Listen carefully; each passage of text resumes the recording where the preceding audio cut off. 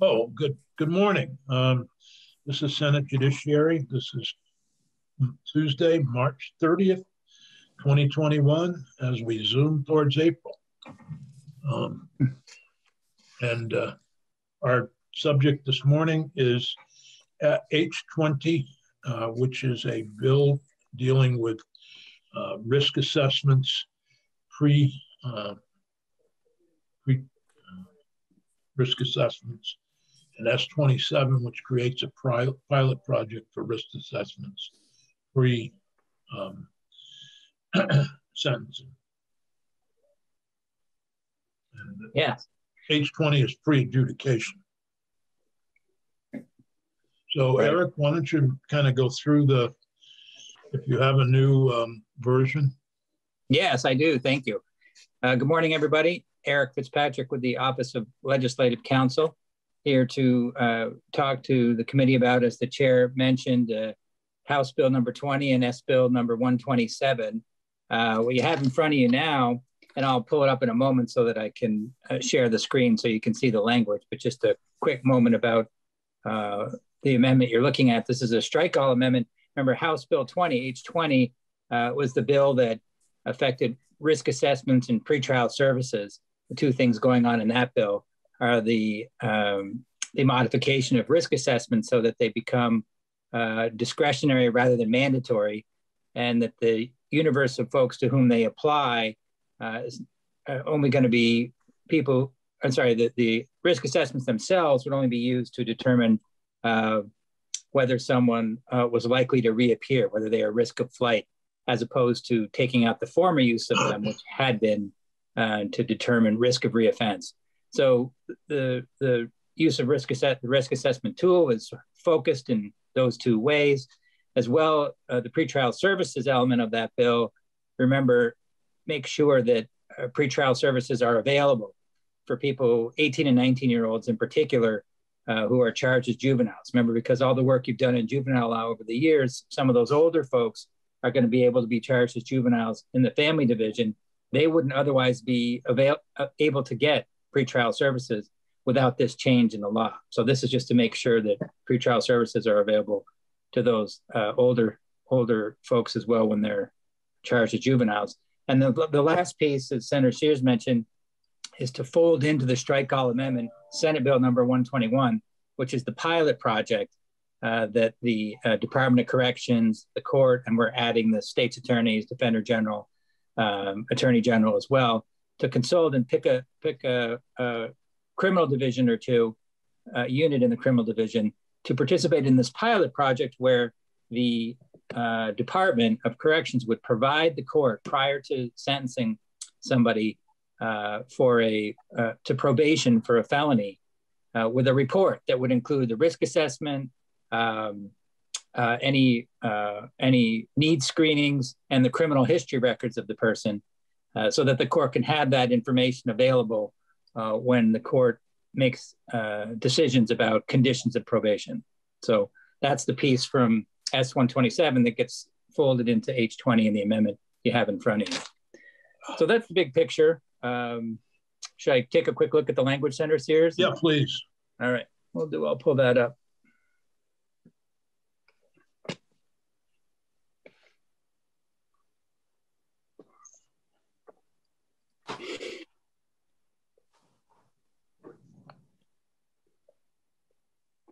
All right, so you should see in front of you now the, the strike all amendment to H20.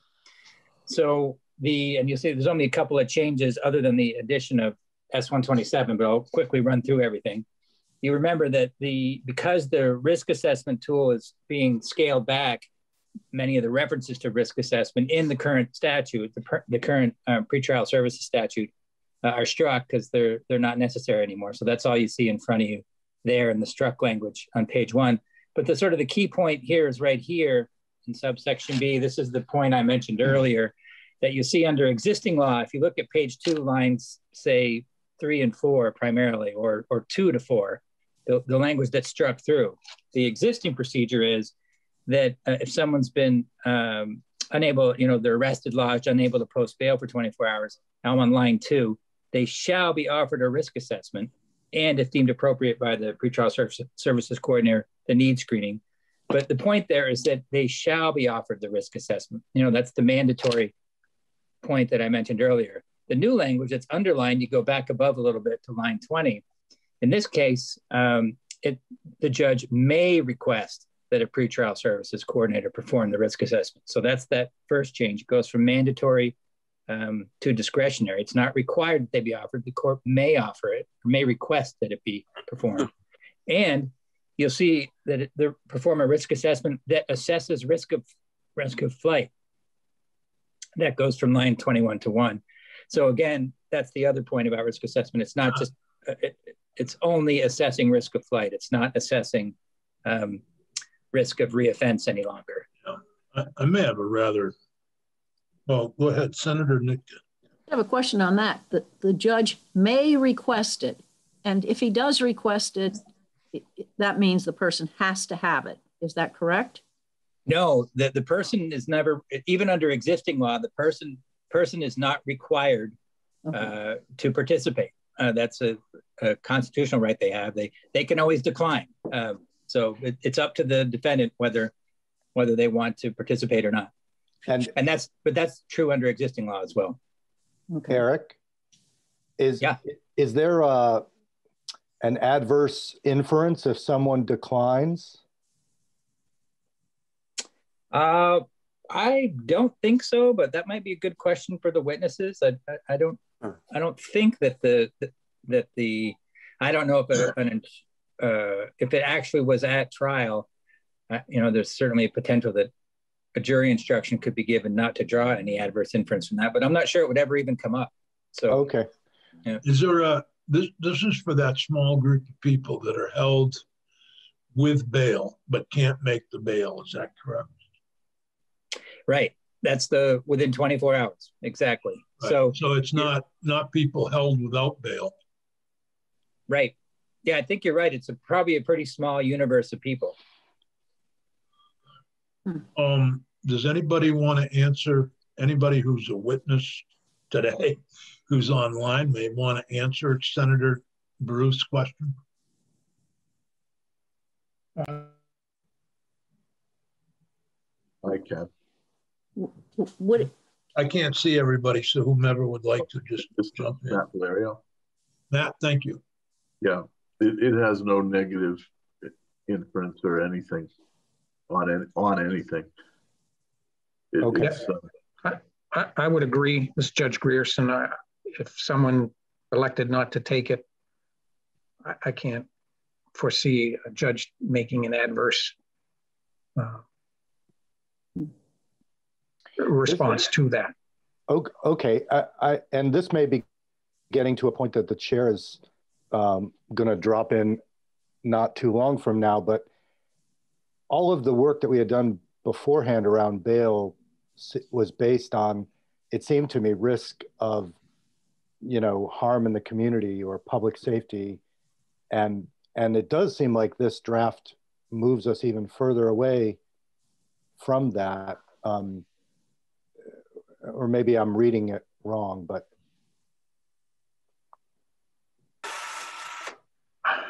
Um, of course, the bail is supposed to be set only uh, for for uh, factors relating to risk of flight, um, as opposed to public safety. So the determination of cash bail, if you will, uh, is supposed to relate to to that issue, risk of flight.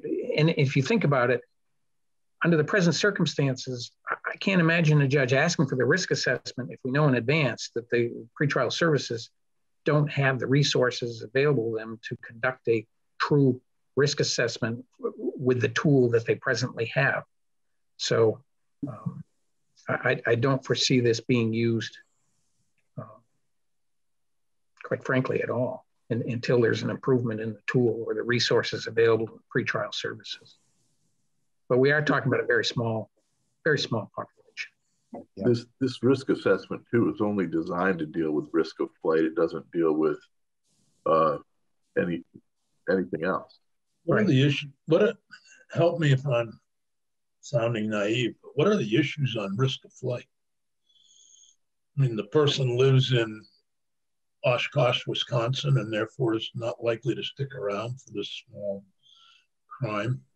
Um, it's ties to the community. Do they have a job? Do they have a home? Do they do they have uh, um, even if they don't have a do they have someplace to go even if they don't have a, a job? We look, um, right. We look, we look at their their social and and you know criminal history, their ties to the community. Um, you know resources available to them maybe you know they have family support um, are they somebody who's just come in from out of state and have no ties or no uh, either employment or otherwise to the community um, the question is uh, th those types of socioeconomic issues all right thank you any other questions regarding page two. Senator Sears? Yeah. All of the things that have just been said forces me to ask the question why are we doing this? Normally, a pretrial services coordinator traditionally has been used to assess program issues. The arguments about whether someone is a risk of flight generally are made between the state's attorney and the defense counsel. And I, I can't see this new entity, um, shouldn't say new entity, new area of work for someone who is normally a services coordinator um, being used at all. I, I, will agree with Judge Grearson. I, I just I can't understand why this would be used. It would almost delay because you're bringing a third party into an equation where the state's attorney and the defense counsel are already well prepped in making an argument to the judge about whether somebody is a risk of flight. I'll leave it at that.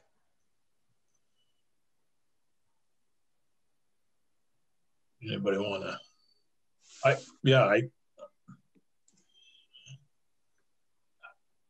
This is David with the David Scherr, the Attorney General's yeah. office. To Senator, thanks, Senator. Uh, to Senator Benning's point, I mean, I think that's actually a fair point. You know, the a, what we're amending here is what is currently a broader use of of this. You know, it's currently mandatory that it be done for this small category of people, and this is making it discretionary uh, at the judge's discretion. So it is actually a narrowing, but I think. Um, not it's not a new use of it. It's a it's a more narrow use. But I, I think Senator Benning brings up a fair point about you know why why are we doing it at all given the realities on the ground. Uh, this provision was. Uh, recommended by House Judiciary to at least keep the option in case a judge wanted to use it or in case a defendant wanted to ask a judge to use it.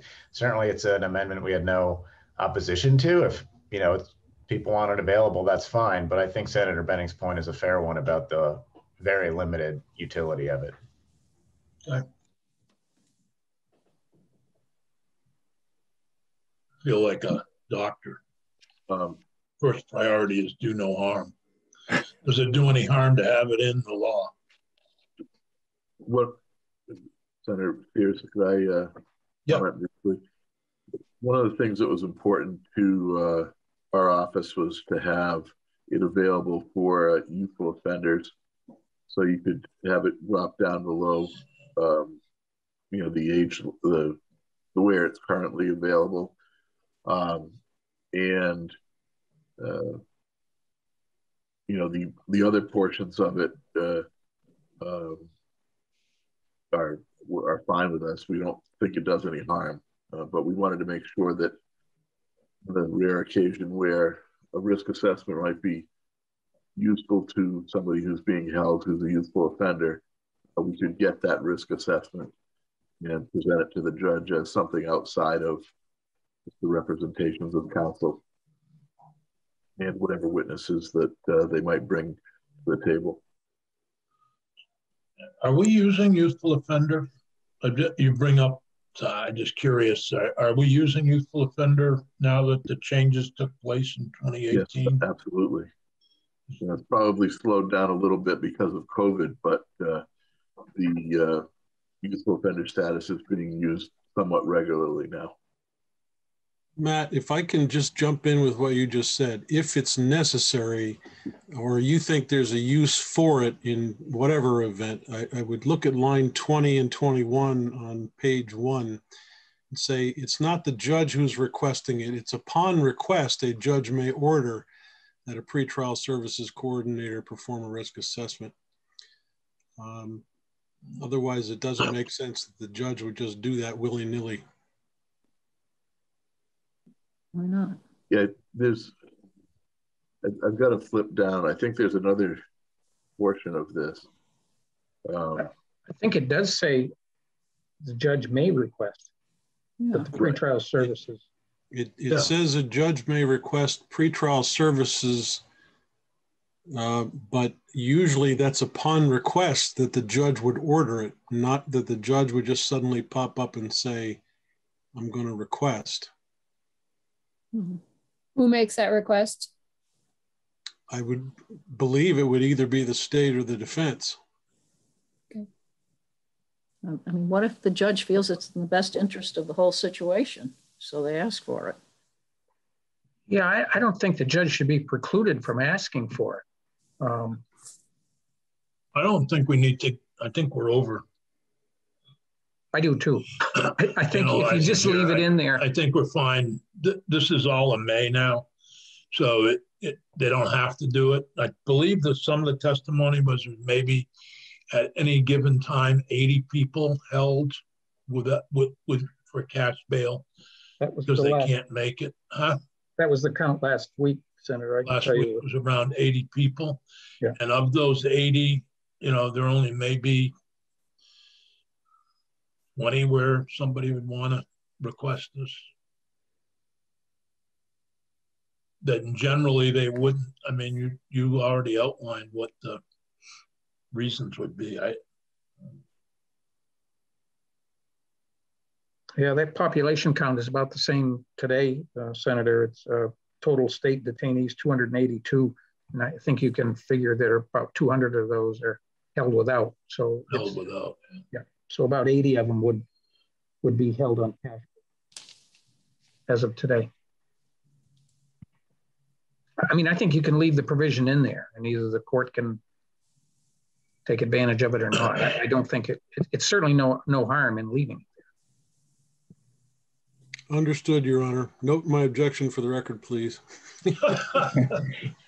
Tomorrow, Senator, Senator Benning will be in court requesting one of these. Or somebody that just got placed. We'll deny his, night. we'll deny his request. You usually do. I'm used to it. You know, with your luck, Joe, somebody, some client of yours is gonna get arrested tonight.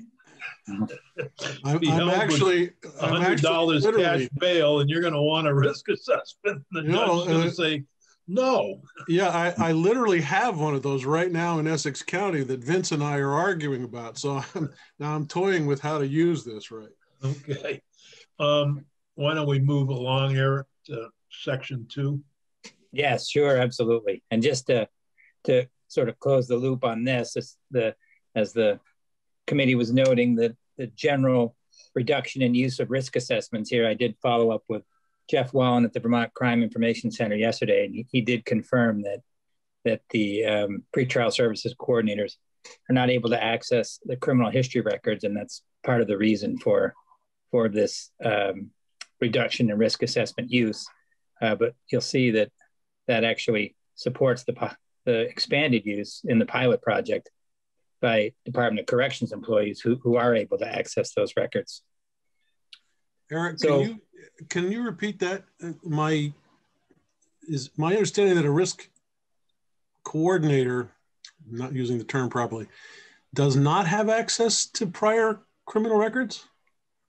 Yes, that's what. then how are they going to make the how are they going to make the call for the judge on whether or not this person is a risk of flight?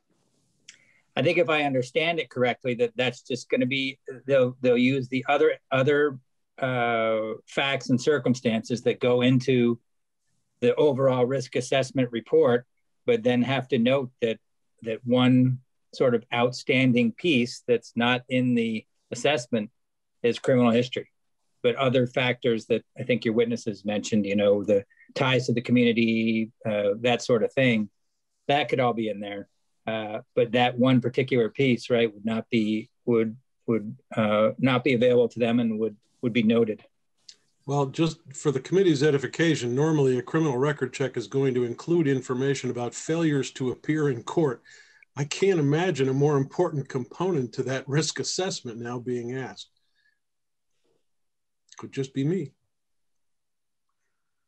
Well, but they can't get it under the under the law. No, even under the under the current law, that's right. They still can't get current it. law. They can't get the criminal history record because that's not available to the attorney general's office, but is available to corrections, which leads us right to section two. Right. Oh, just right before I get to section two, because I don't want to get lost, have this other piece get lost. You'll see the other thing going on in section one is the pretrial services piece. Remember, this is to make sure, and this is what you're looking at subdivision C, uh, to uh, provide that uh, when a person, you know, because of the expansion of the juvenile jurisdiction statute, some 18 and 19 year olds uh, will be charged sometimes in the in the family division as juveniles rather than as adults in the criminal division. And the way the statute is currently written, those folks uh, would not be able to access pretrial services. So this language is to make sure that, as you see, lines 18 to through line one, that uh, pretrial services can be engaged by a person 18 years of age or older who is the subject of a delinquency petition. So if you're charged as a juvenile, 18 or 19, then you can get pretrial services too. So that's just to to uh, make that available to those defendants. Uh, so that's just a technical piece in line D there. So moving on to section two, as Senator Sears said, uh, this is the pilot project, the uh, report to the court. You'll see some highlighted language because the committee discussed last time about making sure that um, that the Department of Corrections consults not just with the court, but sheriffs and state's attorneys, uh, AG and Defender General uh, when establishing this pilot project and selecting which um, criminal division uh, or which uh, unit, I should say, within the criminal division to have the pilot project operate in. And the way the project works is that uh, the idea is that the department provides the court with a report before a defendant gets sentenced uh, to a term of probation for a felony. And that report you'll see in lines two to four has to include uh, defendant's risk assessment results, mental health and substance abuse disorder screening results, and criminal history. The idea is that that report is going to assist the court when it sets uh, probation conditions. And again, tying up that last point, that uh, de- the department does have access to criminal history records for purposes of putting together this risk assessment. And uh, if you remember, Senator Sears, your reading of this was correct. I checked with Dave D'Amora at CSG that yes, this this does require uh, in this pilot project uh, instance that the risk assessment and the screening results uh, are actually completed. Remember, we were discussing the idea of well, is it, is it just that they're provided when available, or they actually do they have to be done? And it's the latter. Dave confirmed that was CSG's recommendation that the for this pilot project at least risk assessment and screening needs to be done, and then they're sent along to the court um, for the probation decision. So uh, the, the uh, interested parties then work together to select one or two units to participate in the pilot project, and then they report on the results to joint justice oversight by December of 2022. I have one, one question, Eric. Yeah. Any of them folks could comment if something happens and this becomes really successful, I'm thinking of some of the trials for the vaccine for COVID. Um, is there ability to move this quicker? And you know, they find this is really helpful. That it's you know getting people out on proper conditions. It's a good program, makes a lot of sense. We ought to do it statewide. Is there an ability to do it sooner? to come back, say, you know, next January and say the pilot's going well. Um, we think we should expand it statewide. Um, that's a good point. Uh, it doesn't, that isn't specifically addressed in the language as written. Um, It says on or before. oh, that's true. Honor before. Yeah. Yeah, okay. Maybe we could, I would think, Senator, um, that if this is, does prove successful, that the parties themselves would be the first ones to say, "Let- let's move this up, let's, let's expand it. Um, okay. I, I'm just curious if we should do an interim report. But we can leave on or before, I guess. All right.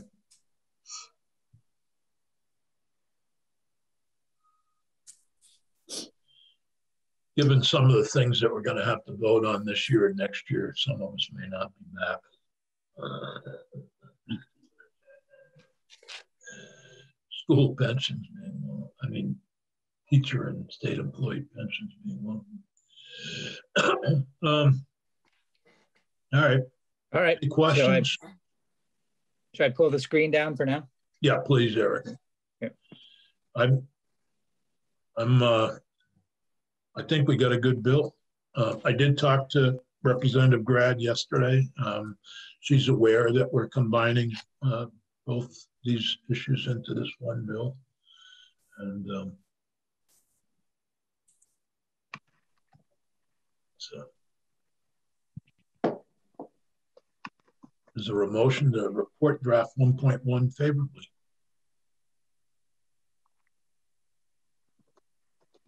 I move we report draft one point one favorably as amended. Or no, we amend at H twenty as seen in draft one point one. Second. That's been moved and seconded. Thank you, Senator Baruth. Um, any discussion? Hearing none, I'm still a little uncomfortable about doing a risk assessment analysis with somebody who is deprived of the most important tool in the risk analysis. Um, I don't know what contribution they could make to that conversation. I'll hold my nose and vote for it anyway, but I'm I'm still uncomfortable with that, and I just I guess I, I don't hear anybody else screaming that's a witness on this screen, but that that's all. I'm just in the mood to be contrary. Okay. Well, you certainly have every right to vote yes or no. Um, Peggy, could you please call the roll on the amendment? Senator Benning, Sure. Senator Nitka, Yes. Senator White, Yes. Senator Baruth, Yes. Senator Sears. Yes. I was thinking of Senator Chittenden's nay vote today. Yeah. Which confused, wasn't sure it was nay or yay. Boy, talk about getting a lot of attention. Yeah. Uh, they asked him three times. Did you Right. say no? Yes, nay. Nay. So did, is that a nay that you said nay or is that a nay? right, right. Yes, I said nay. Um, Hmm. Oh, uh, the uh, Senator Baruth moved that we report S H twenty favorably as amended. Okay. Peggy, could, is there any discussion? Did you say S twenty? No, I said H. I might have said S, but it's H. 20. H, yeah. H20 as amended. Um, ready for the vote? Yes, please. Senator Benning, Yes. Senator Nitka, is that a yes?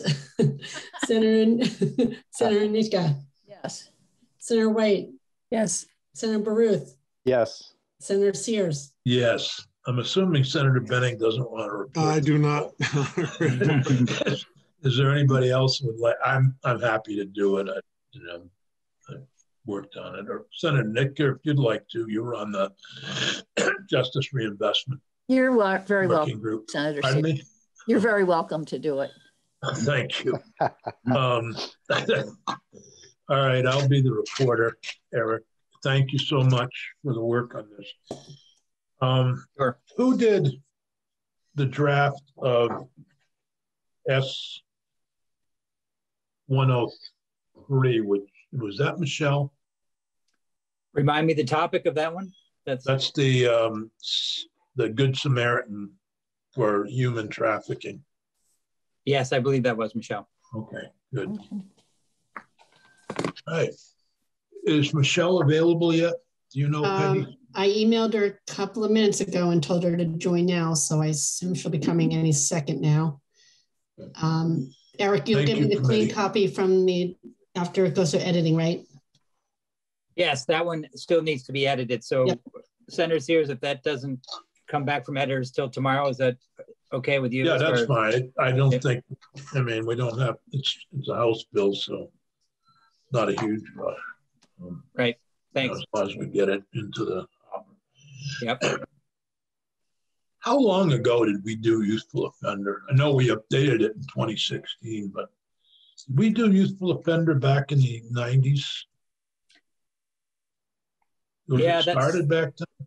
That sounds right, although I wonder if it was the late 90s, early 2000s. Yeah, I'm trying to think. Um, I, you know, it wasn't widely used. Um, I think it was 1999, Senator. yeah, I, I think you're right. It wasn't wild, widely used until uh, we did the changes in 2016. All right, Michelle is here, so we're going Right. to move to. Um, thank you, Eric, and we're going to move to. You bet, thanks. S uh, H eighteen, which is the um, sexual ex- sexual exploitation.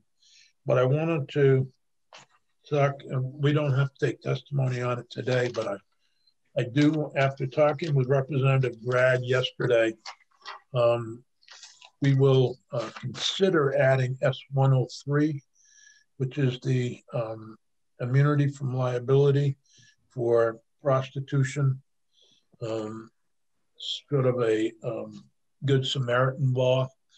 Uh, if the person reports that and has been a victim of, of human trafficking. Um, and it was part of a bill that the House passed last year that had a controversial study in it, if you remember, of working um, sex workers. And it generated all kinds of um, questions. Uh, this didn't seem as controversial, but um, we may ask for testimony on this um, at some point. Well, we will um, take testimony on it. So we, I don't intend to pass H18, um, but we could finish our work on H18 today and then take testimony on S um, 103 next week. or the week after. Okay. Just so everybody's aware of that. Do- do- Everybody remembers the issues, I'm sure, that were involved with the sex worker thing that kind of took over in the house and um, last. Okay. So anyway, H18. We were going to hear from Marshall, who was going to talk to an expert. I think we just lost Michelle for a minute. Oh,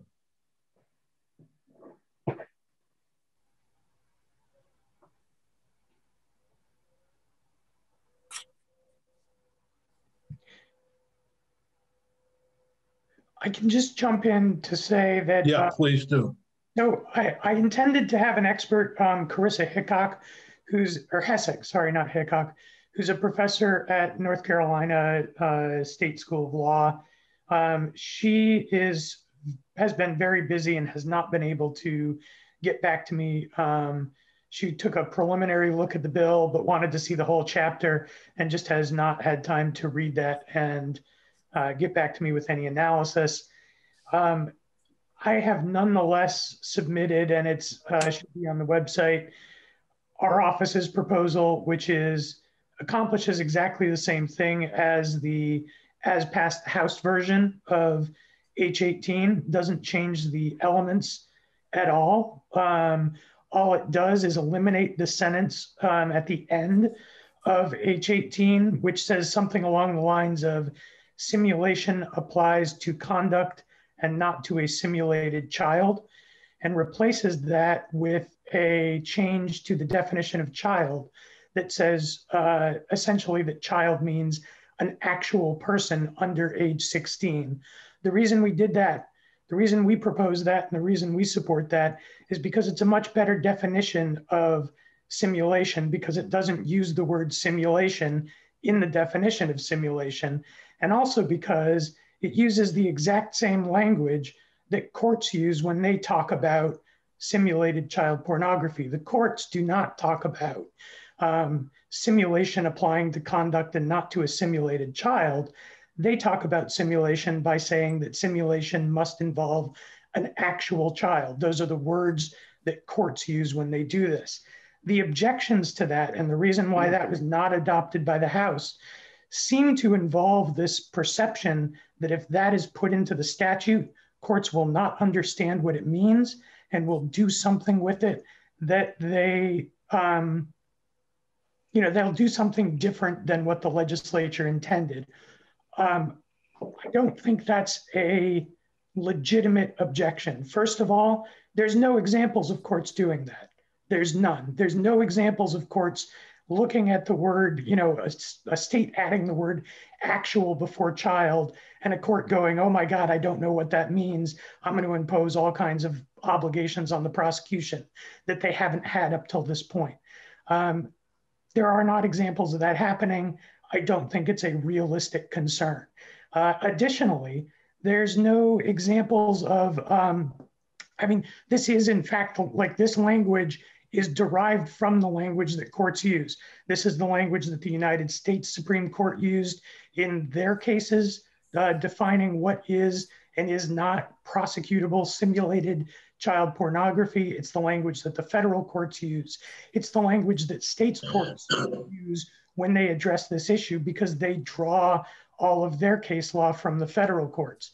Um, so, from our perspective, it makes much more sense to use the language that is both clearer um, and is also the language used by federal courts when they consider these cases, rather than to use language based on a concern that courts are going to misinterpret the words actual child to mean something it doesn't mean because frankly that's just an unrealistic concern. And so i'm, I'm sorry that we don't have an expert to testify today about um, you know the sort of scope of federal First Amendment law, um, but I did want to make sure that the committee was aware of our objection and that we didn't, you know, we weren't just in this case objecting and saying, don't pass the bill, don't pass anything like this. We actually have a proposal that does exactly the same thing that the um, as passed the House version does. Um, and our objection is simply that we should be using language that's clear and language which reflects the decisions of the United States Supreme Court and federal courts. Senator Baruth has a question or comment. I do, Marshall. Thank you for that. I'm wondering, um, you say you have a counter proposal. If if this language um, turns out to be the will of the Senate as well as the House, um, do you do you oppose it actively, or are you just at this point saying you prefer one over the other? Do you think there are hazards of passing what the House um, sent us? How would you characterize your opposition? Um, I would say that I don't believe that the House's language is unconstitutional. Um, I think the original language that was proposed was unconstitutional. I think that we've gotten it to a point where it is constitutional. Um, I just think that it is not clear. And I think that when we're talking about, I mean, these are very serious offenses. These have, you know, the sub- substantial uh, terms of imprisonment five years, 10 years, 15 years, depending on which part of the statute uh, you are convicted of, um, lifetime registration on the sex offender registry. When we're dealing with such serious felonies and with charges that have such long term serious ramifications, I think we owe it to um, the people of Vermont to be perfectly clear about what we're talking about and to use language, especially when we are in this territory of you know, trying to create a law that allows prosecution all the way up to the edge of what the Constitution permits, um, but no further, to actually use the language from the court cases that define that scope of the Constitution. So I don't believe that it's unconstitutional. I do think that courts would probably be able to figure out what it means. I don't think it's clear, and I don't think it reflects the language used by federal courts, and I think it should. Okay, I, I if I could just finish up quickly. Sure. Um, so uh, my, uh, I won't call it a dilemma because I think I know which way I, I uh, would go on it, but each side is saying that the other side's draft will be productive of confusion. Um, and so I, I look at both possibilities.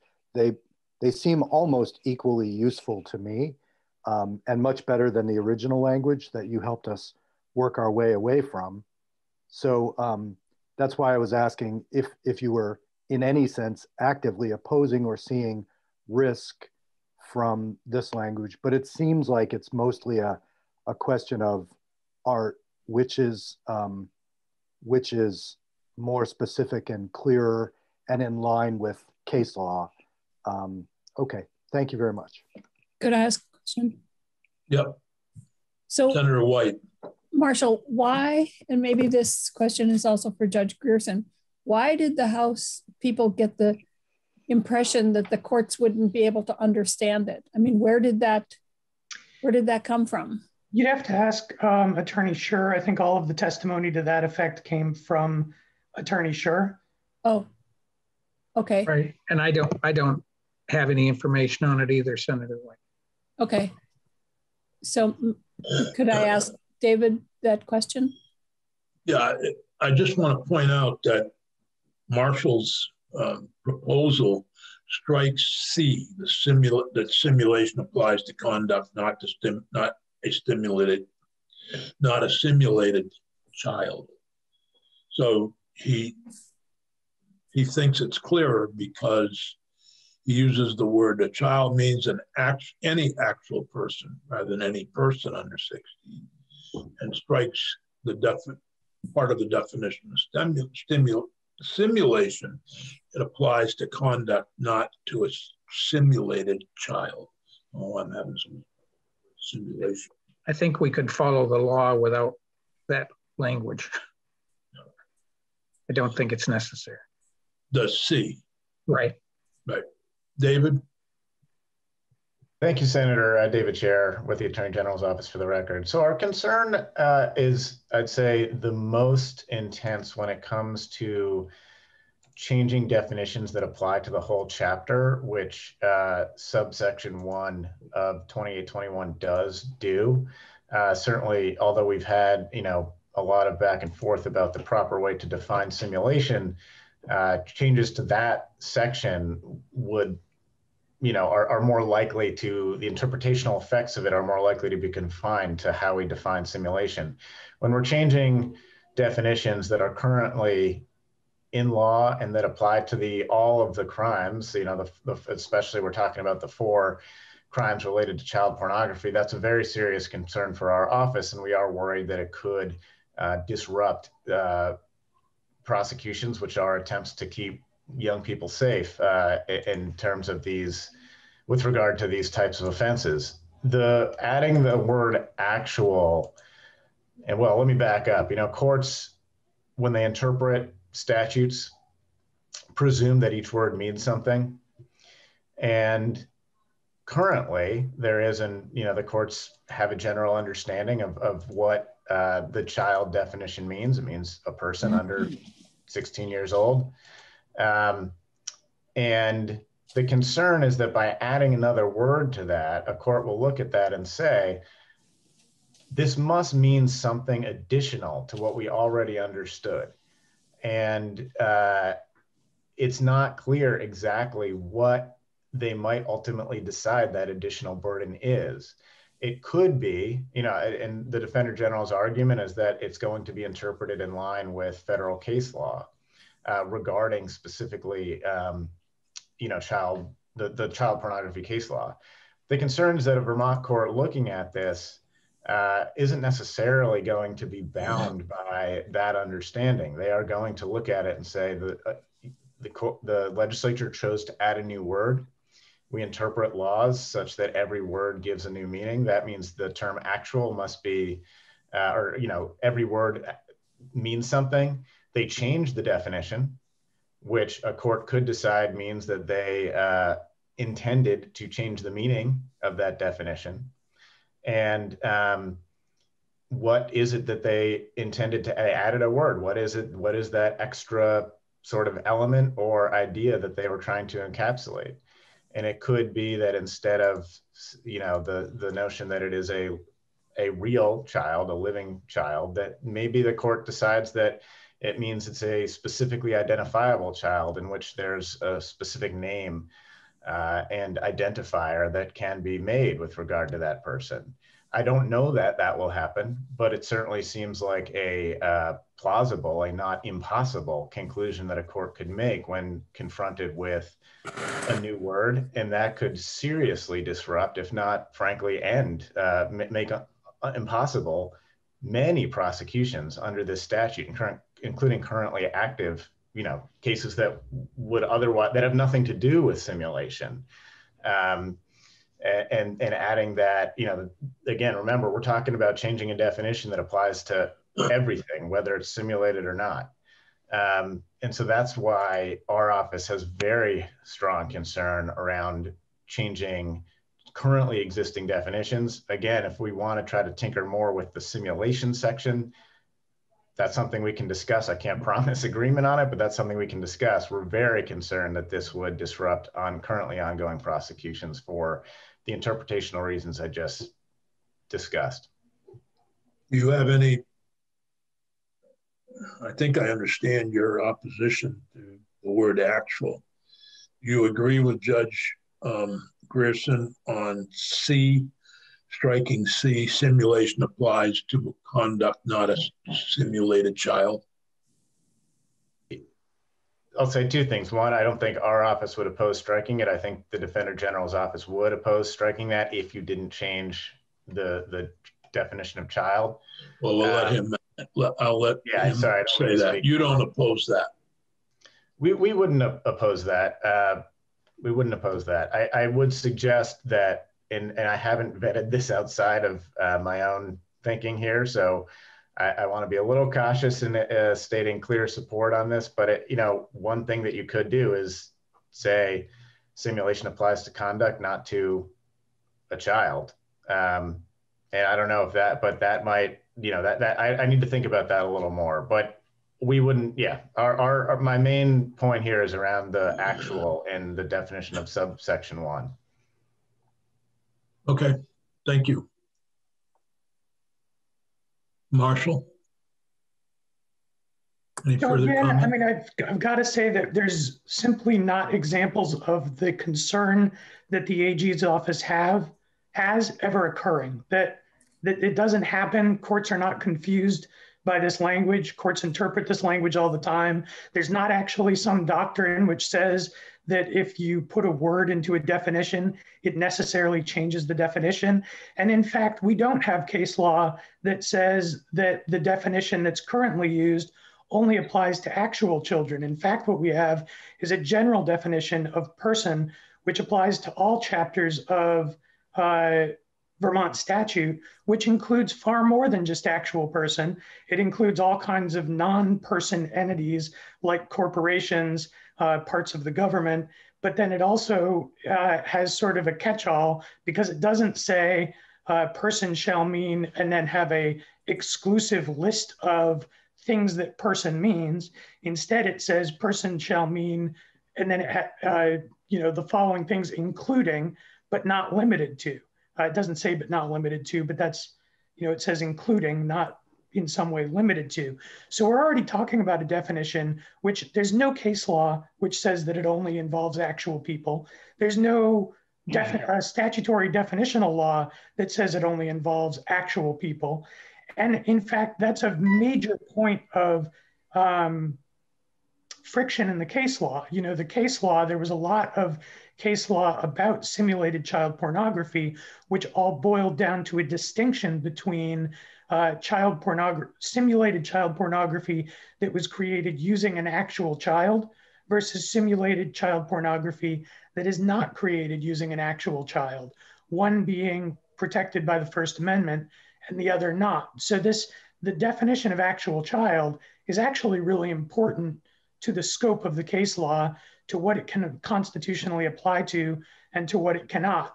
And there, you know, the concerns that the AG's office are raising just simply don't exist. These aren't concerns that are valid, that are based on some, you know, actual point of um, distinction that's been drawn by a court somewhere. Uh, these are speculative concerns that, frankly, don't just don't make sense uh, when we're talking about this. And it, you know, it's it's I've got to say it's difficult for me to understand what these concerns are because when you start looking as i did you know when these concerns were first raised i started going back looking through case law in other states in vermont in the federal court system for any court that's been confused over the term actual child and believed it to mean something like what the ag's office is concerned about.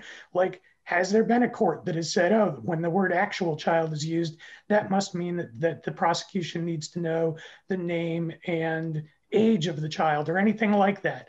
I've found zero cases of that happening. I've found zero cases of anything even similar to that. Um, frankly, the word actual, the, the place where courts seem to get confused is when legislators don't put in the words actual child. That's when courts do things like apply definitions to uh, images used, um, created using pictures of children grafted onto the heads of adults and things or to the bodies of adults and things like that. That's where courts get confused about what the definition of a word child is, not when they use the word actual child. So we certainly disagree. We do not think that this is a clear definition the way that it's written. Um, and we don't think that the concerns of the Attorney General's office are legitimate when it comes to courts misinterpreting the words actual child. Thank you. Appreciate that. Um, I guess I'm gonna. Um,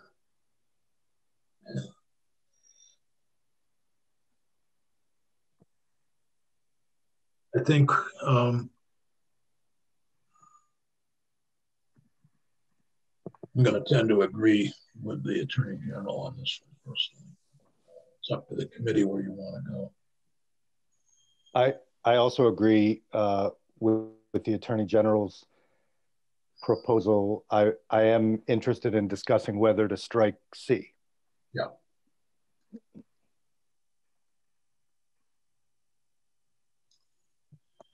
That's two. I'm talk about the courts being confused. That's me. What's that, Jeanette?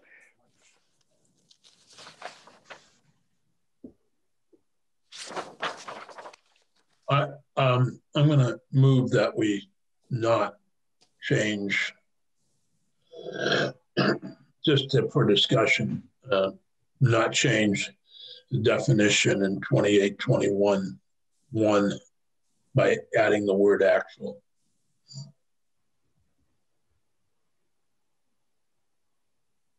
Okay. So, any discussion? Well, I, I would just say that um, Marshall said there's no evidence that adding a word would change the definition in some practical sense, but but of course it does. If you, it's not the same definition. It now has the additional word, and I think we can't know what will be the consequence of that. But I don't think it's crazy to view it the way the Attorney General's office does, and so looking to mitigate that possible consequence. Again the language seems to do everything we want it to do. And and it seems like a, a fine point of legal language in which i'm comfortable erring on the conservative side which is leaving the definition the way it is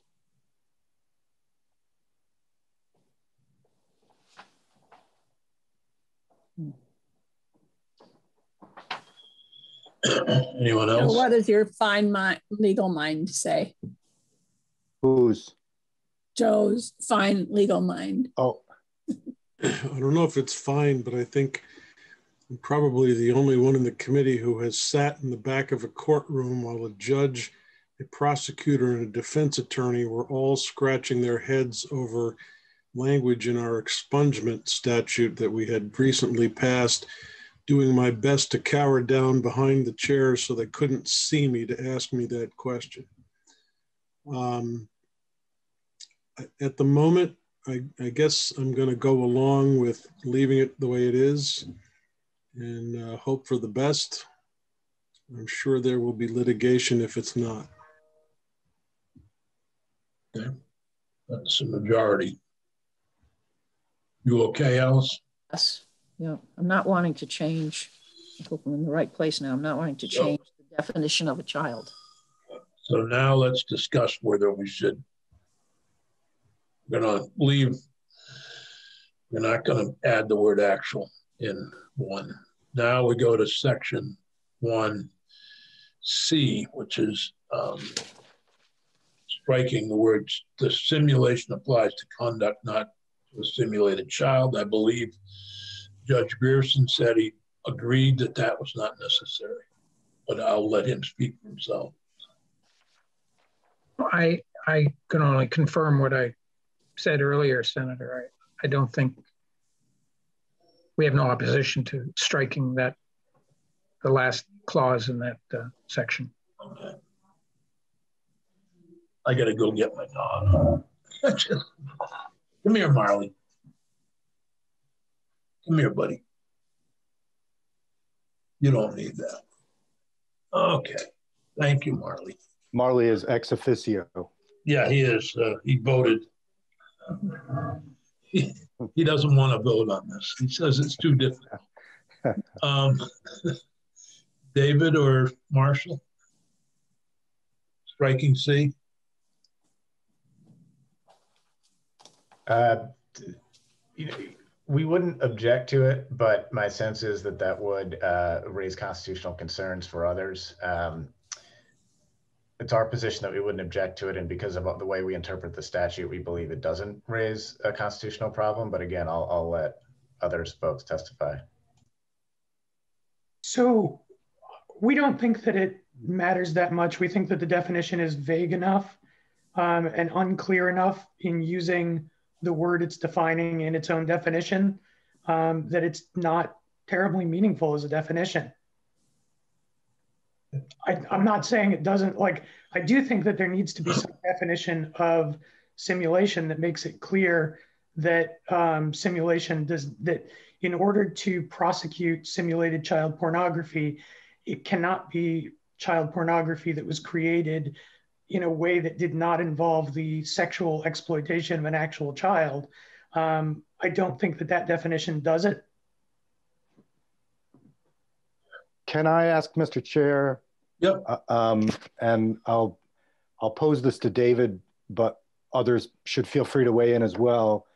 Is that the only place in C where we use the phrase simulated child? In in other parts of the law or here? I believe that that is the only spot where those two words appear like they do. Am, there. am I am I wrong that then by including that we're then we are creating something new that we're not defining.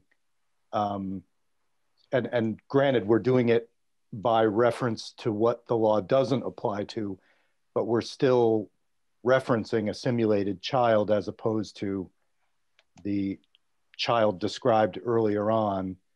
Um, if we eliminate C, then I, I think there's the the implication of such a thing, but it almost seems like if it's going to be there, it should be defined. And I don't know that we want to go through that process at this point. Um, what, what do you think about that, David? I, I think that's a reasonable interpretation. I mean, I, I would not argue that this is, you know, this this this language subsection C is the product of discussion and compromise. I wouldn't say it's like the most elegant definition that's ever been put into um, the statute books. I do agree, Senator, that it can be read to add meaning um, that isn't that um, and add meaning along the lines of what is constitutionally required, which is that the simulations we're talking about are simulations of the conduct of the sexual act or whatever that might be, and not um, simulations that um, that create the appearance of a child, whether that's a te- you know a drawing, a digital rendering, whatever it might be. I do think it can reasonably be read uh, to cl- further clarify that meaning. Yeah. Mm-hmm. It, well, I'm trying to read the whole thing. Simulation means the explicit depiction of any conduct described in subdivision 2A through F of this section that involves a child, creates the appearance of such conduct, and exhibits naked genitals, buttocks, or breasts below the top of the areola. Whatever. Simulation does not include paintings, drawings, or non-visual or written descriptions of sexual conduct. And then simulation applies to conduct, not to a simulated child. I don't know what that hell that means. Really is confusing. I'm not sure what that means. Senator, I think you know the idea behind it, the concept behind it, is just to further clarify that this is within the constitutional limitations. You know, the constitutional, the Constitution does not permit so under. If if if some depraved individual has a Barbie and is simulating behavior with the Barbie, it's obviously not a child. So we're saying that conduct, while repulsive, is not necessarily criminal. Is that, I mean, can I read it that way? Yes. So um, mm-hmm. I don't, um, I don't know what, I mean, it says it does not include paintings, drawings, or non-visual or written description of sexual conduct. And then does not, Michelle, how the heck? Yeah. What does that mean? So, um, you know, I think you know we've been working on this issue, this particular issue, uh, quite extensively with the with uh, David and and Marshall um, before the session started and getting the bill in the bill introduction, and then also um, quite a bit in the House. And because they have differing opinions on the use of the term actual child, um, we're trying to communicate clearly that when use of the term simulation applies to conduct and if you if you look at you know the definition of simulation you'll see it says right there 7a simulation means the explicit depiction of any conduct described and then it lists that there. But without anywhere else in the statute uh, specifically saying that it doesn't apply to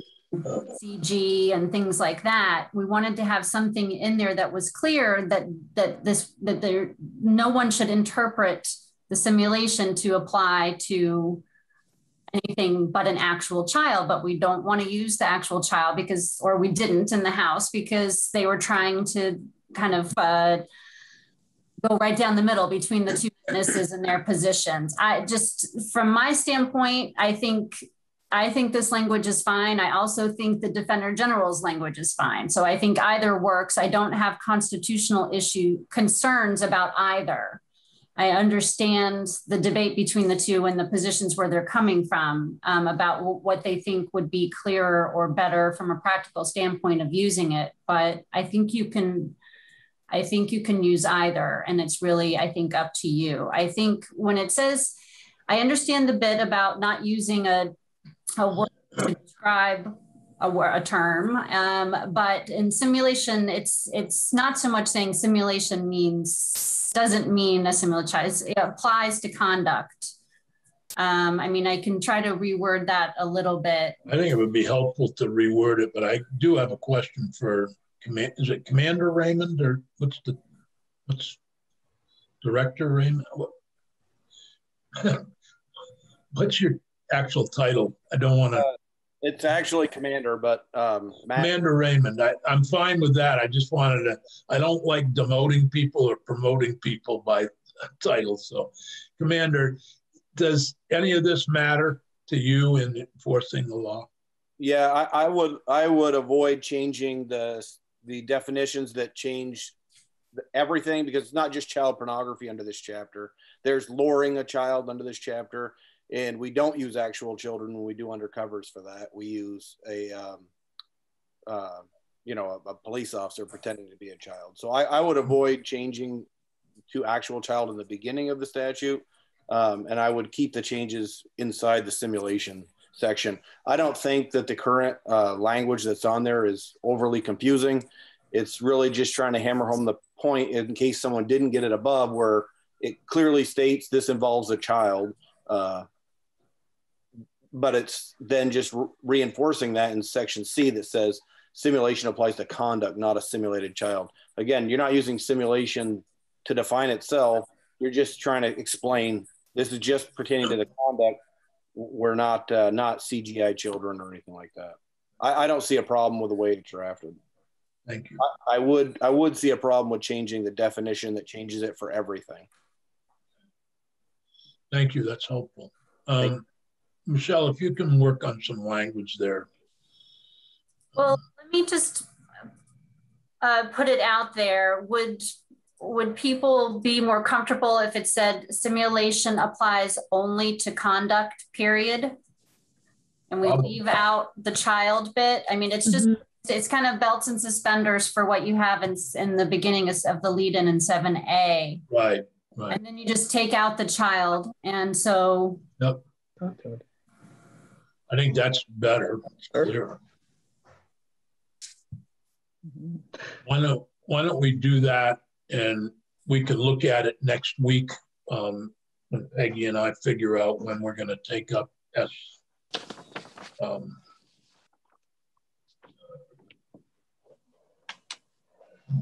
One hundred three. Yeah, S one hundred three.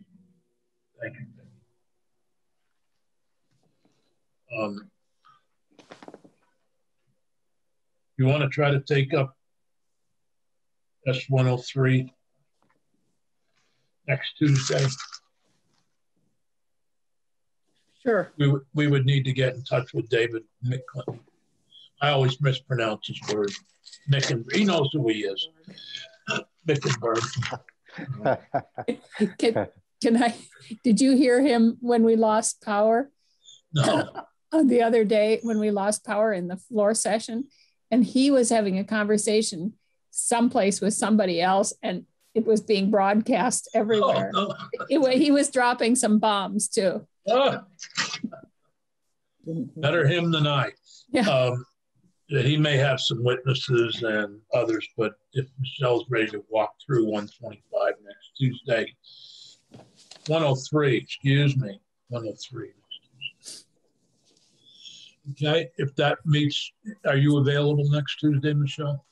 I am.